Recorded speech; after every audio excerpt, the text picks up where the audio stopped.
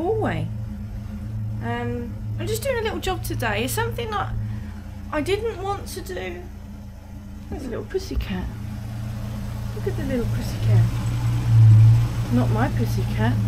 Um, yeah, there's something that I want to do today that I didn't want to do, but I'm going to do it because I've had enough. On my last long trip, which was to Derby, Jessie started like farting and just not being very happy. And I was scratching my head thinking, what's wrong with her? Anyway, after pulling over, thinking, is it this? Is it that? You know, I took the um, the dash pot off the car, I've had a look, everything was working. Uh, took the float chamber lid off, checked the float, checked there wasn't any dirt in there, everything was squeaky clean. And I thought, what on earth's going on? I had a look in the um, distributor. Got electronic ignition, that looked fine. Coil wasn't getting hot. All the leads looked good, rotor arm looked good. So that left only one thing. Is it something to do with the spark plugs? Hmm. Well, yes it was. And I'll show you.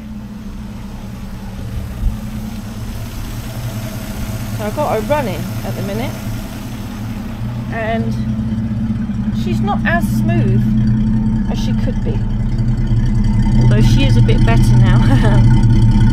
she is better now because I've already changed the, uh, the, the culprit, which I'll show you. Hang on, let me just turn her off because I don't want her getting hot because I need to do more work. Okay. Yes, the culprit. These poxy things, right? So on inspection, I found this one to have, it's a bit sticky because I stuck insulation tape over it. There's a hairline crack there. If this camera's going to pick it up. It's cracked all down there. These rubber rings are absolutely rubbish. The quality of rubber these days is so poor. I mean, can you see that's perishing? And that's only a couple of months old. It's not even a year old. That rubber ring around there. Um, and without the rubber ring, it doesn't really seal in there properly. So that's rubbish. It's cracked, and they've got this connection in here, which I seem to be cleaning too often for my liking. There's a little acorn here unscrews from that cat, and there's a contact in there.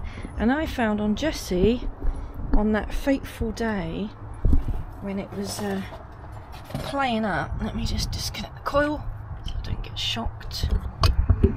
Uh, uh, uh, let's balance you in here. Right coil's disconnected. Let's pull this one out here. Right. This one specifically is underneath this engine breather. Now Jessie's old, you know, she's breathing a lot of dirtiness out of that cap. So I unscrewed this. And look, it's done it again. See, it's gone a bit, a bit sooty in there. It's just been making a sort of poor contact in there. When I took this apart in Derby, when it was playing up, this was black it was all sooty. I mean, thankfully I had some sandpaper and WD, so I cleaned them up and then she ran, well, normal. But I'm, I'm fed up with these poxy spark plug things, so I decided I'm going to change them. And what I'm changing them for is, oh sorry, these. These are what my Rover P6 has on them and they're rubber so these are the original type boot I've put on the end. Oh, Arlo's back. That's not embarking though. Um, so I, I had some of these second hand that I got for spares for Mr. Jenkins. But I've now fitted, well I've just fitted one. And I'm going to fit these onto Jessie. Now they don't 100% seal the spark plug um, hole. Let's see. Get in there But they do, they do make quite a good seal, I think. Uh, better so than those stupid rubber rings on these acorns. And they don't look too out of place. So what I'm going to do is show you how I'm fitting those. Uh, it might not be the right way, but it's a way that works, okay? I'm not an expert. Things and know they work. So, yeah, I wanted to keep the car original by having these, but look, this one's got a crack in it as well. It's just age, isn't it? Heat and age. So, yeah, it's, it's time to ditch these. I, got those holes in. I just... Yeah, I, I really don't like acorns. I really don't like these. I ditched the one off the coil ages ago so I could just have a push fit one. Um, you know, just so I could in interchange the coil between my other cars. Um, so yeah, bye bye acorns. I'm going to put them all in this box and put them somewhere safe. There's Arlo. Hello Arlo. You alright mate? Where you been? It's a nice day. You're a bit low down there. Hi. Um, yeah, these are just a spare set of leads I had kicking about for Mr. Jenkins. Um, so I'm going to keep the leads as spares. Excuse me sniffing, I've got hay fever. But um, I'm going to take the ends off, so I don't want to. I don't want to just cut the lead because that's a waste. So we'll try and slide, we need to try and slide the boot up the lead so we can access the connect contact inside. So I've got some um, WD with silicone. We can just spray that. It's a bit violet. Spray this. Spray it there. And hopefully I'll be able to work it out. If not, what I was doing, get this little flathead in here and we can just work our way around the boot to stretch it open a little bit and get the get the spray down in there.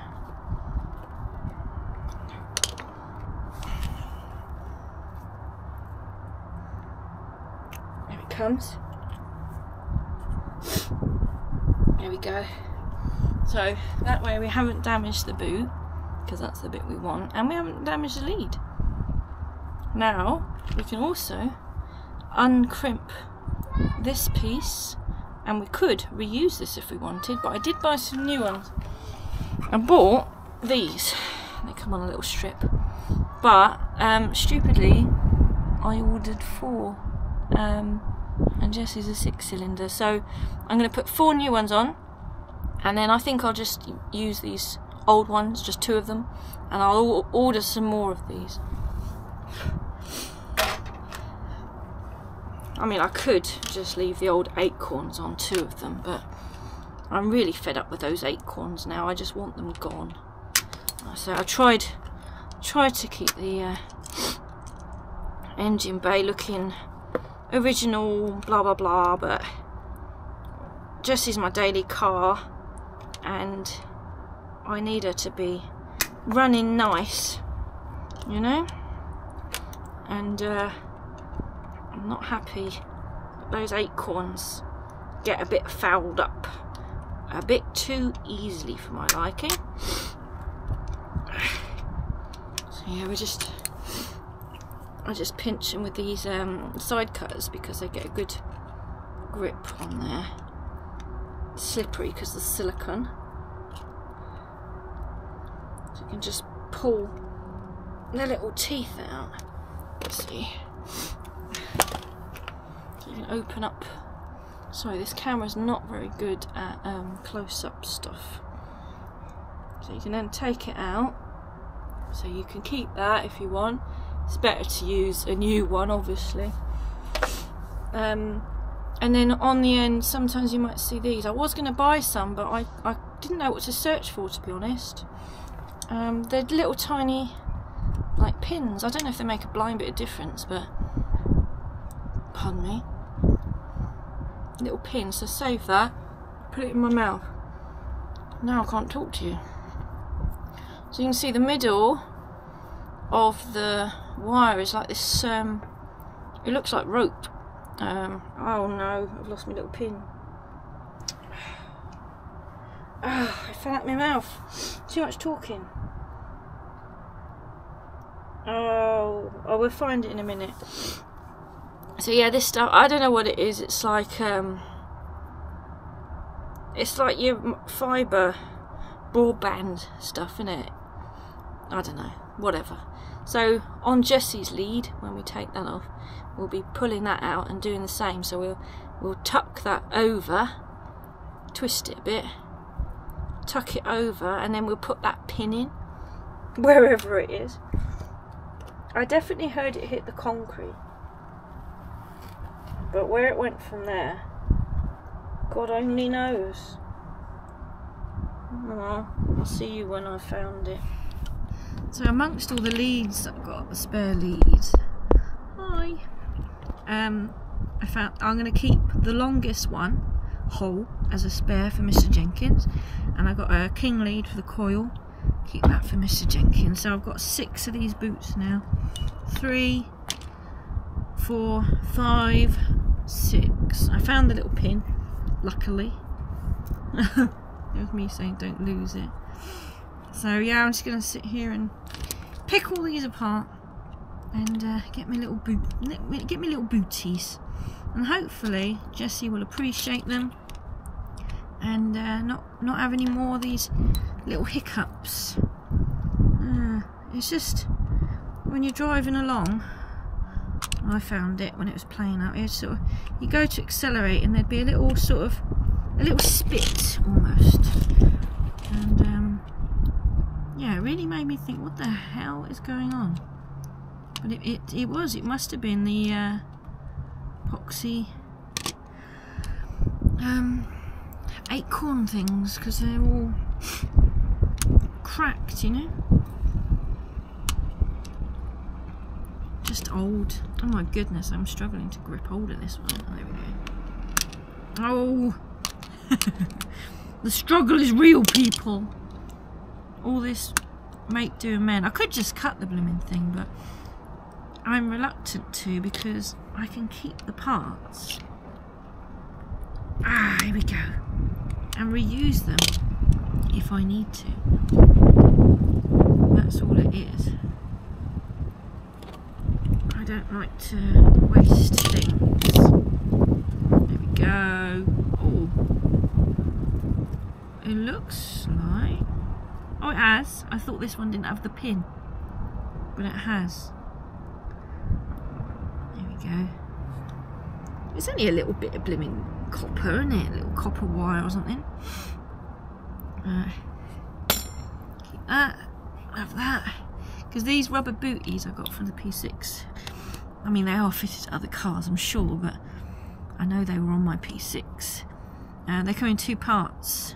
They're like little top hats. So I don't know if you can put the little top hats on a newer boot, but this boot's got sort of ribs on it to keep the booty um, slid down. You feel it slide down. And they're in great condition. You know, there's no sign of perishing with this rubber. So I'm happy to reuse these, you see. Right, I'll keep going. Three more to go. Wow, that made me jump. The door just slammed. I need to lie down now. I think I do do do do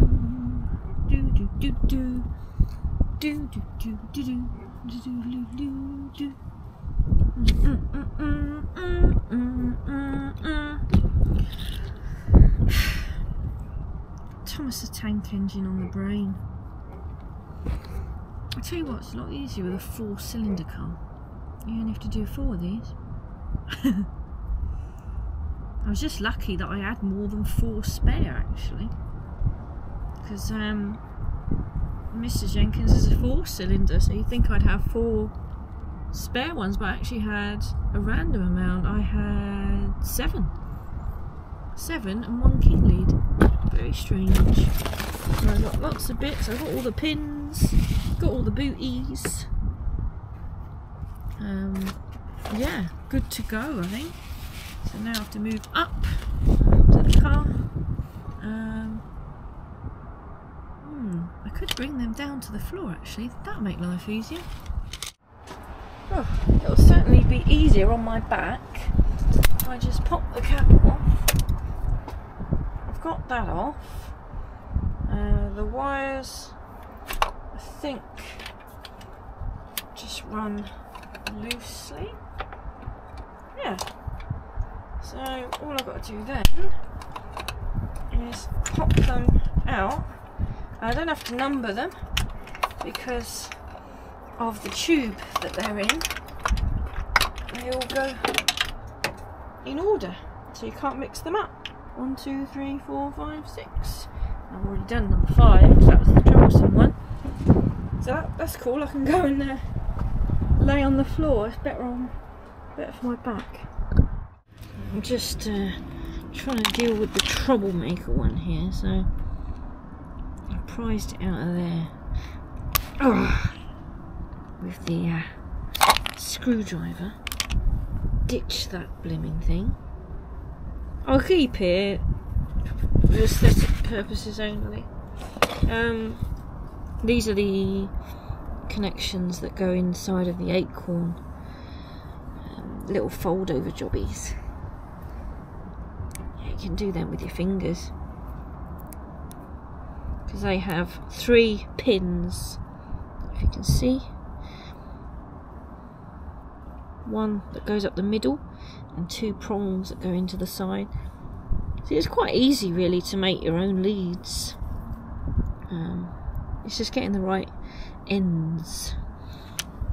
Uh, and the right amount of ends helps as well. So I put them in the box, get rid of Mr Acorn. Uh, now we'll get one of these fellas, slide it on up. Bit of weird red goo on that one. Get rid of that. If you're struggling to slide, you can get the old uh, silicone on there. That helps it go in. so pleased I come up with the idea to uh, take the cap off and do it down here. The beat's leaning over that engine bay. It's coming. Pinch the end now. Come on you. Yes she is. And you can see this one's obviously a bit damaged from the uh, pins going in. So what we're going to do somewhere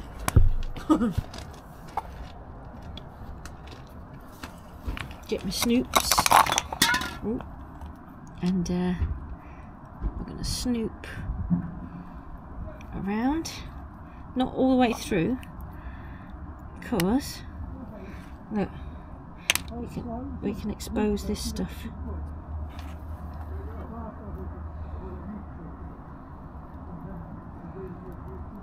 Just do that again. There you go. So we've got that good amount there. So we can fold that over. And we can get Mr. Pin that we saved. Here's one I made earlier. That's it. We can stick one end of the pin in the middle. There we go. So that's pinned in there. And then if we get the uh, the new connector here, make sure the, the, the wire bit is touching the metal, that's what we want, isn't it? So we can, can squeeze that one, squeeze that one in there.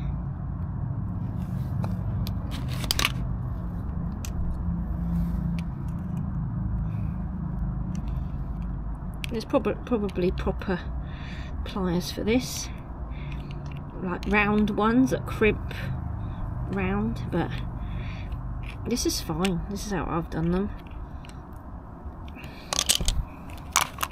So it's got a nice tight fit. That's in there. Lovely jubbly. That's not going anywhere. So then you can slide the boot down Oh, a bit more silicone. This silicone stuff's pretty nasty, you know. Come on. Down you go. Oh, dear me. Slippery.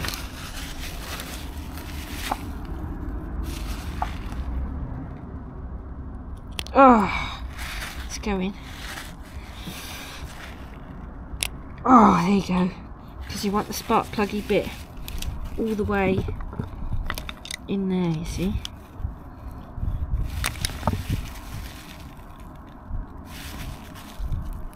It's in. And then the cap over the top. That'll probably go in further actually. Just trying to stab my finger. Ah, that felt good. Yeah, that's all the way home now. Marvellous. Right then, four more to go. It looks like it's going to rain. Well, should I say it feels like it's going to rain. The wind's picked up. Sun's disappearing behind the clouds. I've only got these two left to do. Can we just appreciate the cobwebs on the front of Jessie as well?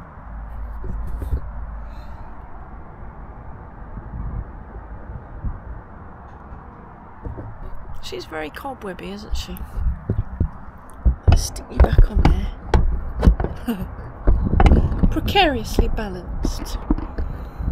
Uh, yeah, Jessie's going to get washed tomorrow. Because tomorrow is Quainton Rover Rally at the railway centre. So tomorrow she's going to get. Uh, tomorrow isn't the show. Today's Friday. Tomorrow Jessie gets washed. Sunday is the show. So that's why I wanted to do these HT leads before the long journey to Quainton. So I'll do them and we'll go for a test drive to the fuel station. Make sure she's happy with her new leads. Well, replacement ends, should I say. And uh, go from there.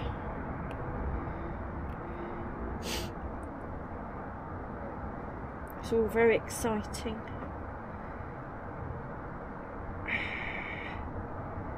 Yes. Hopefully this works out. Fingers crossed. As I said, I'm no expert, I'm just winging it. if it doesn't work, you can't say I didn't try. Yes. Reattach everything.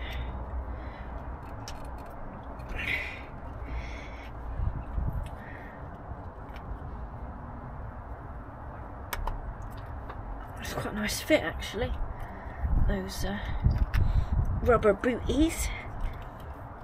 That will certainly keep the weather out.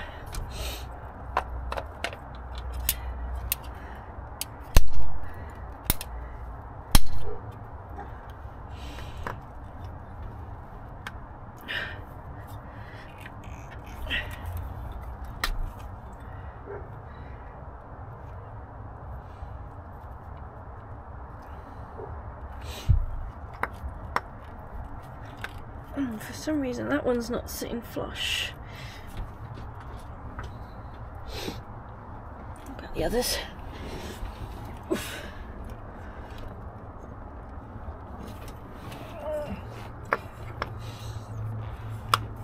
Yep, that one is. And that one is just about.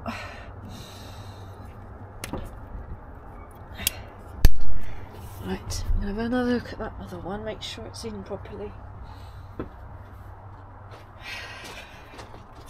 Because there's only so much I want to pull on the lead, because I don't want it to pop off, you know?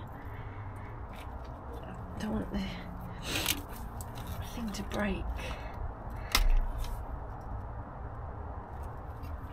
So you gotta make sure That's all the way into the rubber boot.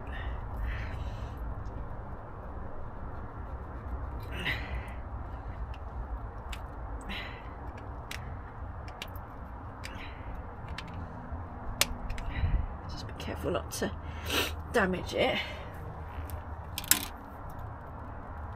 Feels like it's all the way. For whatever reason, that one's just not, not sitting down nicely. Strange.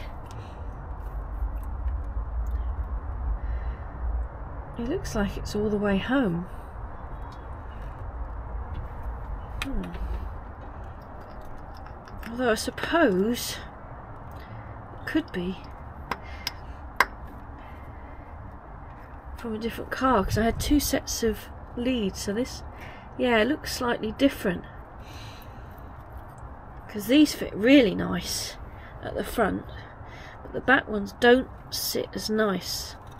So I'll have to keep my eyes open for some more so we can get this boot. I'm just going to see what that other one's like on that spare lead no this one this one looks the same as this one I think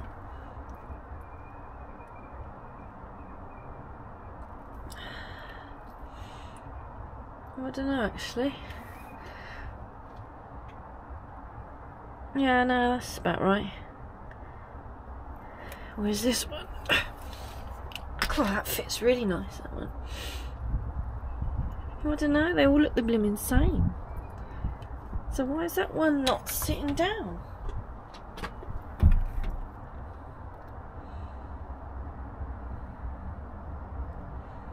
Very strange. Oh well, is what it is. Hopefully, it'll be okay. Anything's got to be better than them stupid acorn things. Let's try that. Ah, that's a bit better. Just pushed it down further. Further, farther. Right. I've just tweaked them all so they're a nice tight fit. Um, yeah, let's see if she's going to be happy with me.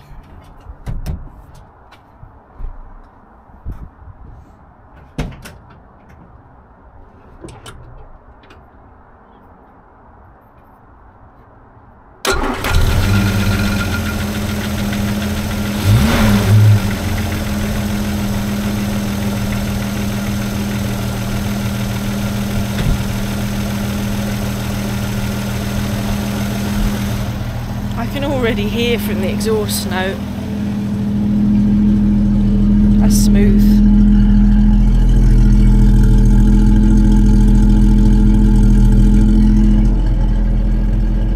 Can't deny that sounds so much nicer. I think those acorns are just causing trouble because they're old. They were probably great when they were new, and now they're 60 years old. They're no good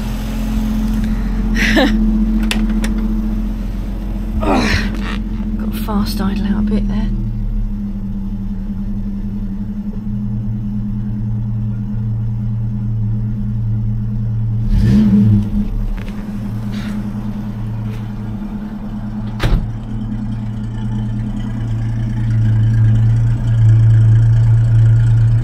That sounds great. I'm really pleased with that. That was a job well done. don't think they look bad. Because this is a 1961 model and my P6 is 1967, which is what these came from. And P6s were made in 63, 64. So I'm happy with that. It doesn't look out of place, it doesn't look bad. I can sleep at night now. so there we have it. Success. Highly recommend ditching the little Bakelite acorns. I know they look nice, they look original, But listening to Jessie now with those rubber boots on,